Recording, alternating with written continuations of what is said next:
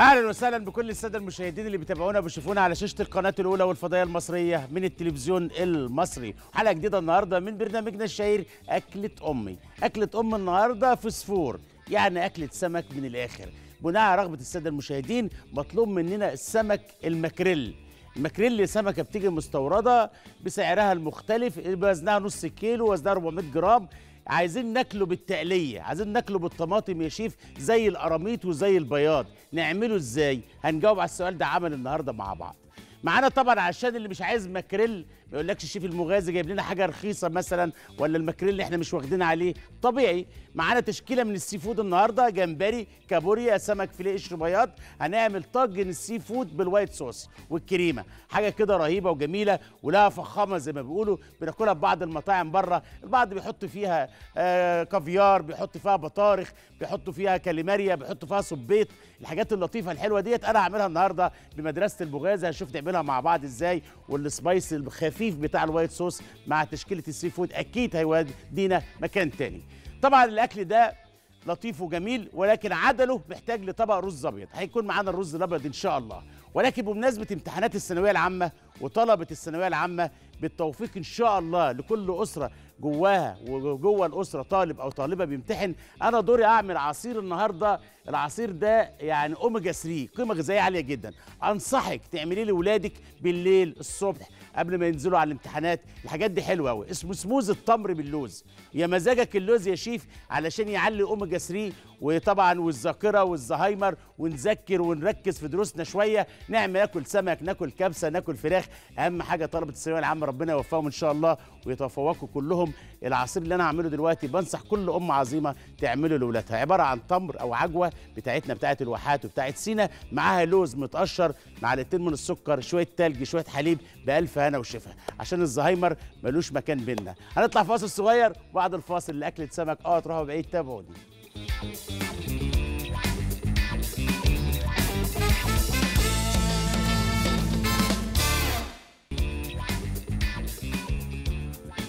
ورجعنا لحضراتكم بعد الفاصل مع طبق أو طاجن seafood بال white sauce. قشريات سمك فيليه بلح البحر كابوريا زي ما انت عايزة. أنا النهارده توفر معايا أو متوفر لدينا الكابوريا والجمبري القش والسمك الفيليه.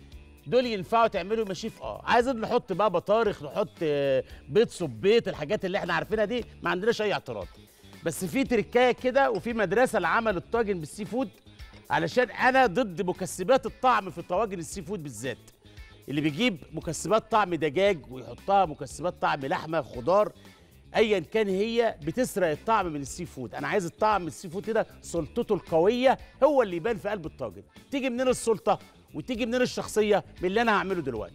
المقادير على الشاشة يا أستاذة رحاب معانا جمبري ومعانا كابوريا وسمك فيليه روزماري بصل وتوم. عصرة ليمون. دي كلها مقادير مع بعضيها.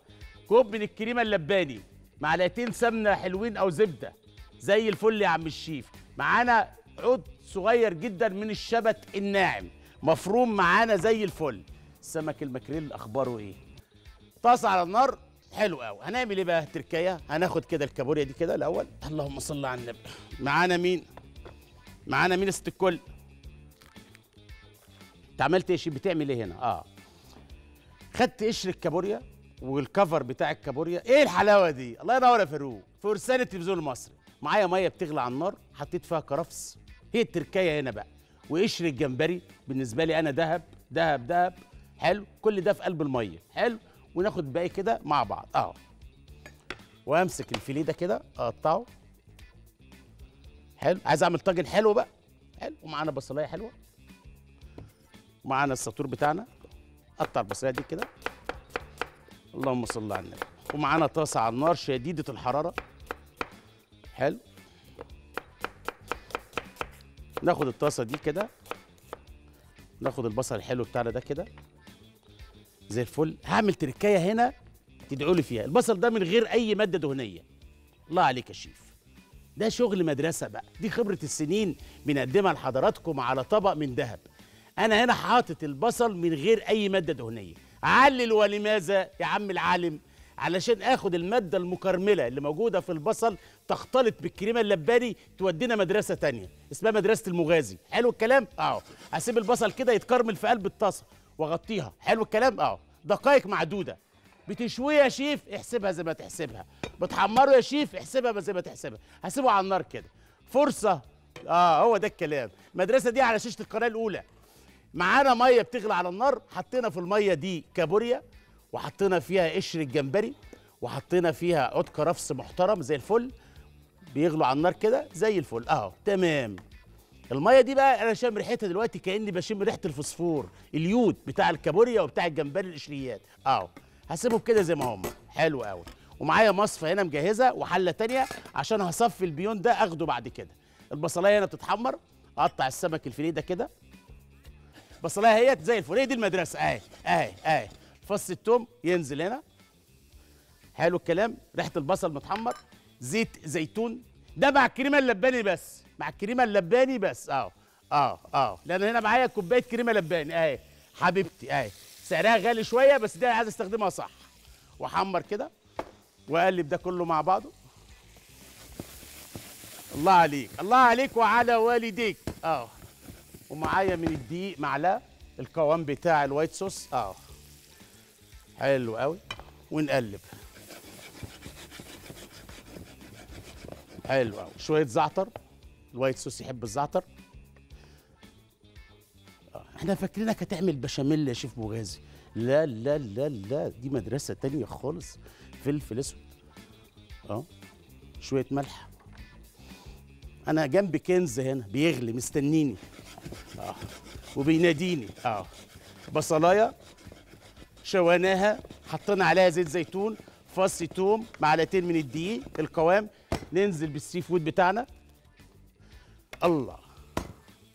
جمبري فيليه كابوريا كل ده مع بعض. لسه ما خلصتش. اصبر على رزقك. آه.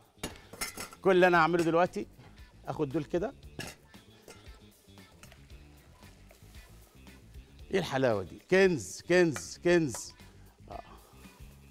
العب يا سمك وناخد الحلة اللي بتغلي دي يا عم الشيف.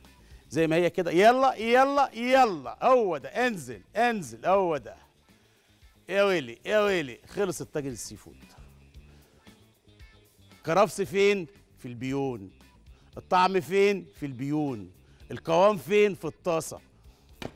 والسر فين؟ في الطاسة. آه. وجبنا الخلاصة. آه. التقليبه دي مهمة جدا خلص ال seafood. نسيبه يغلي بقى. الله على الريحة.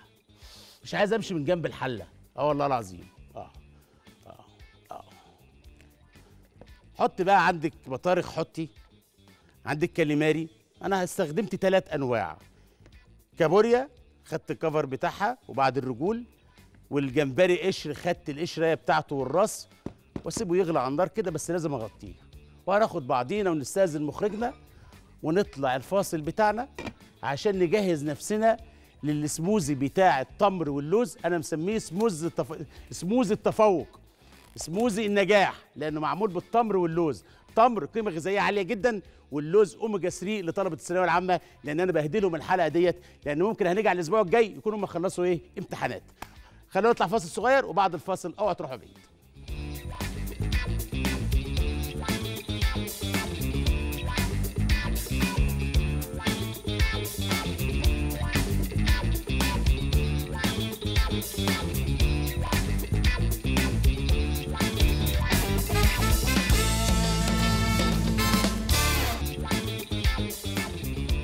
ورجعنا لحضراتكم بعد الفاصل. بتعمل إيه يا عم الشيف؟ خلينا نبص على طاجن ال seafood. إيه الحلاوة دي؟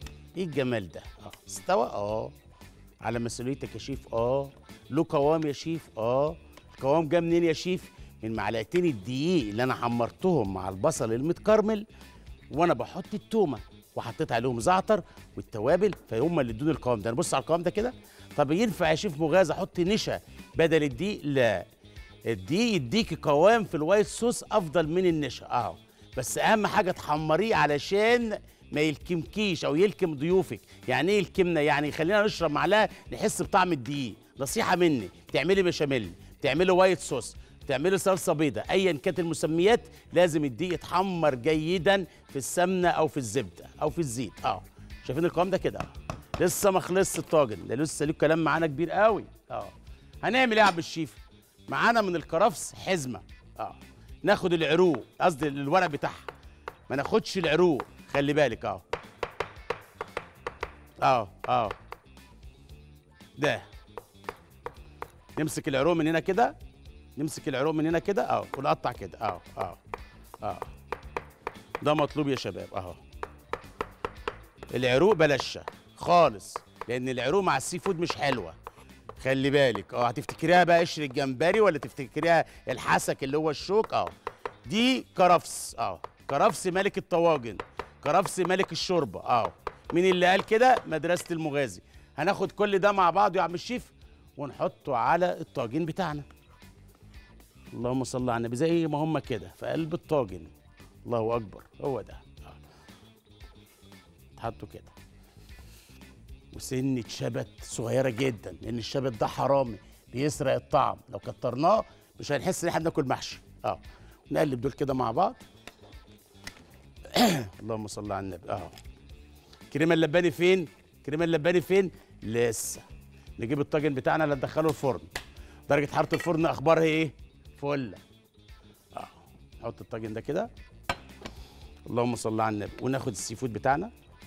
نعم يا غالي. الشوربة الشوربة تقريبا بنفس الطريقة بس ما ينفعش أحمر البصلة أو أشويها بنفس الطريقة دي كده خلي بالك. الطواجن حاجة والشوربة حاجة. الشوربة بقدر الإمكان بتكون healthy شوية يعني ما فيهاش يعني آه عملية الطهي التسبيك. بتبقى ال seafood زي إحنا كده بنشوحها على النار بياخد الكريمة وبياخد الحليب. إنما تشويحة البصلة أو شويان البصلة مع الطواجن وخاصة ال seafood مع كريمة لباني دي مدرسة المغازي. آه آه. ننزل كده أهو. لسه ما خلصتش. هو ده. كريمه لباني ناخد الكريمه اللباني. اللهم صل على النبي. الكريمه اللباني هنحطها هنا يا شباب. أهي.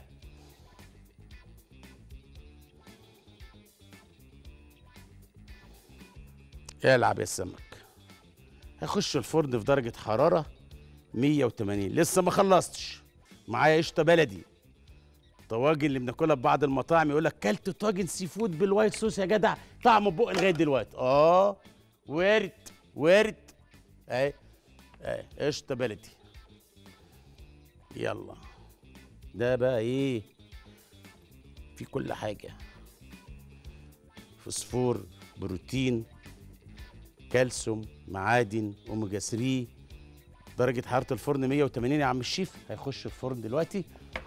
ونتفرج عليه بعد ما يطلع من الفرن تقريبا لمدة 10 دقائق اللي هم باقيين عندنا.